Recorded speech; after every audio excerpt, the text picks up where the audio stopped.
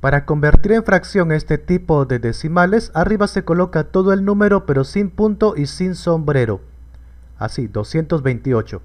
Y le restamos lo que está afuera del sombrero, o sea, solo el 2. Ahora debajo, viendo después del punto, ¿cuántos números bajo el sombrero? Dos números, por eso dos nueves. Ahora, ahí mismo después del punto, eh, no hay números sin sombrero, pero si hubiese, completaríamos con ceros abajo, pero no hay. Arriba restamos y queda 226. Abajo 99. Ahora, esto se podrá simplificar, o sea, ¿se podrán dividir entre un mismo número?